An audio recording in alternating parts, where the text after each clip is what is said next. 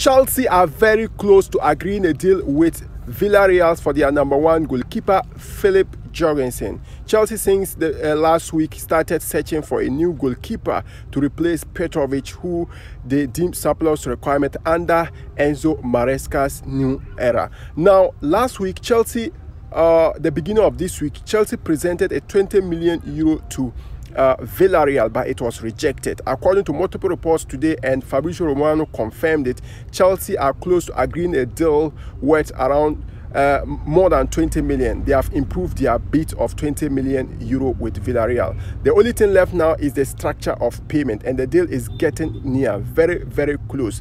A deal with or a contract agreement with Filip Jorgensen's camp is already in place. Now, if you want to know who Jorgensen is, Filip Jorgensen, his strengths and weaknesses, this is according to 90 minutes.